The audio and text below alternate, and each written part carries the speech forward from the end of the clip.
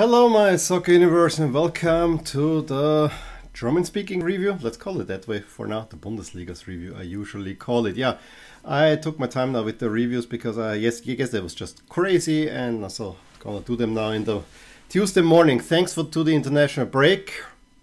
I have the time to do it this way. I am wearing Lask. Lask is not last in the league anymore. Yay! So that is enough, but didn't is not enough to make it all the way to the title of this video, which is of course that I think we saw for the first time this season that Leipzig actually looks somewhat okayish, and maybe there is a chance with some adjustments making there.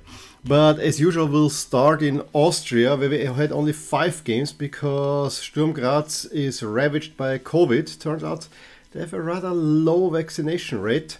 So uh, I honestly thought, first of all, uh, given how many injuries Lask had as of late, that why is this game postponed?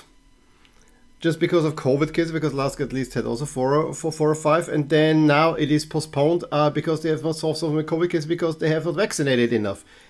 I honestly think there should be uh, a little bit of a punishment for Sturm Graz in there. I just feel in a way this way because you know this is highly avoidable, this postponement. So yeah. Um, other games we had, uh, you know, Ried winning, Salzburg winning, Austria Klagenfurt winning, all away wins on Saturday.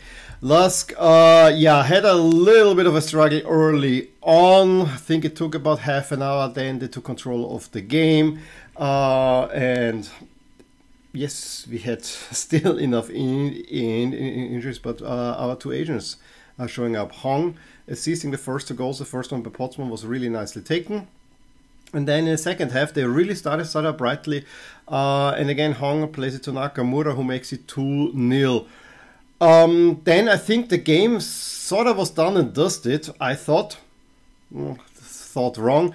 There, in my opinion, I still maintain there should have been a penalty for Lask, uh, and then the penalty is given on the other side, where I'm also thinking, yeah, no, no. Lask Leone, Sabitzer steps up and Schlager saves it, yay! And then I knew that this is done, and then Lask gets a penalty uh, that Michael in stoppage time converts. It's a 3 0 win.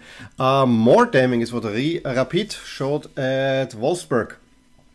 Uh, they already had a so and so performance in the Europa League, and then they completely yes also Rapid not at full strength and this is something that uh, has to say most of the european teams with the exception of salzburg in austria are really struggling with injuries and players missing but a Rapid team cannot lose 4-1 in Wolfsberg.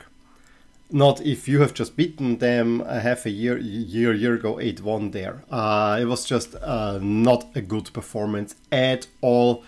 Uh, it was 3-1 at the half, half, half time, and the, the, the fourth goal I saw actually was a really nicely played ball by Peretz. Um, to pull it in, uh, Jasic, Gugganig, and Dieng who was probably the player of the game, scoring the other one for Wolfsberg with Ivo only making it 2-1 in between. Uh, Rapid still, still, still struggling uh, with the current form. I think all those injured teams are happy that there's no international break come, come, coming up, uh, where you know the next round is then Sturm Graz against Lask is a big uh, game where I, I honestly think Lask will probably again not make anything from it, but you know I would say we'll move over to Germany, where I actually saw a little bit of the Mainz Gladbach game, which was a weird game, a very, very rough and tough first half, where Gladbach um, could profit from a goalkeeping mistake uh, through Florian Neuhaus. Gladbach being maybe the slightly more mature team, but everything uh, changed in the second half. I thought that Mainz had definitely more control of, of, of the game, was better in the game, and got the equalizer through Widmer uh, probably could have pushed more, but I think it would have been out. The draw was fair. Um, Bayern, you know, had a little bit of trouble, but in the end beat uh, Freiburg. First defeat for Freiburg. Uh, the goals came from uh, Goretzka, who I think hit the woodwork as well. And uh, Lewandowski with a nice assist by uh, Leroy Sané.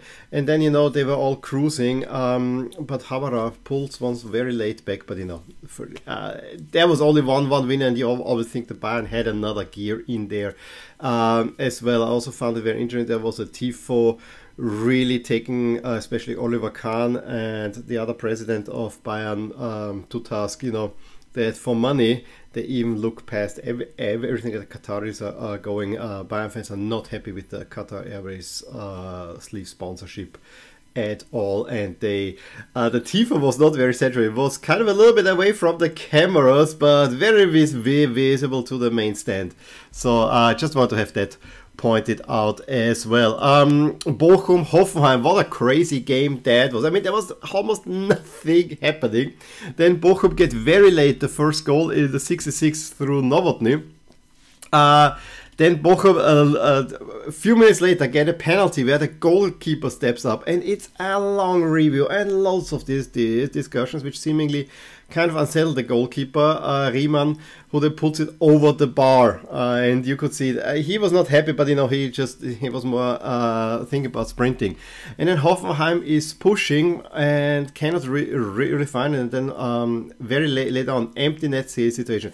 Classic ice hockey situation. Empty net uh, where the um, Hoffenheim goalie is, is going forward. The ball comes to Pantovic, who out of his own half. I mean, he controls once the ball, he looks up, and then really very nicely with some skill puts it in it is net from his own half. It was a really really nice goal. Um, big celebrations thereafter, of course. Um, Bielefeld big winner. Stuttgart, Stuttgart being in trouble, uh, absolutely. Uh, Wolfsburg, um, get another win under Florian Kohfeldt. Suddenly they look like a real team again, although it was not that pretty. Leipzig Dortmund is a game that actually I didn't really initially plan on watching, but I was glad that I in the end had it on together with the Juve Fiorentina game. Uh, Leipzig really, really playing well, and Christoph Nkunku being outstanding absolutely out, out, outstanding. I think he did a double period uh, that just went onto onto the post. He scores the one uh, nil after Gvardiol assist. Uh, Dortmund not really there again. Injuries have to be taken into account, but from a Marco Rose team, you would not expect such a poor performance. I gotta say. Um, Dortmund in the second half pulled one back through Marco Reus, uh, which came a little bit out of nowhere. Then had a little period where Dort, Dortmund was better. But then um, Forsberg comes, comes off, Henrichs comes on, and Leipzig again pushing. And I think there was already a chance for Poulsen, but then he makes a second one again, assisted by Nkunku. It should have been more to be honest, uh, they were that much better. I think a three, a three or four one would would have been the correct result in that game. Uh, what Leipzig changed is they kind of now went more with a little bit more hybrid uh, between what Jesse Marsch wants them to play and what they were playing the um, uh, Nagelsmann. So kind of not so frantic and also with three at the back. And I think this gave Leipzig for now stability, which also shows a little bit that, that Jesse Marsch is not like a dogmatic. He can also a little bit uh, uh, ad- adapt and let's see how this will be going forward. Um, the Sunday games didn't see much of those. Um, I, I know Köln had to twice equalize. Uh, Leverkusen got a late equalizer. Frankfurt gets a win at Fürth, which actually, since it was an away win, is, is the biggest jump uh, that we see up here. But I know at Fürth everyone is winning, so yeah, that's how it goes. So that was it from me from what was happening in the Bundesliga. For any stats, look forward to my uh, to the statscast that will come a little bit later. And yeah, give me a thumbs up if you enjoyed this video. Add anything you want to add in the comments below. And I will talk to you soon. Bye. Hey there, I really hope you enjoyed this video and if you did, here are some videos and playlists that you might actually enjoy too. Also, please consider subscribing to my channel and also hit the little bell icon so that you get notified whenever something happens in my soccer universe.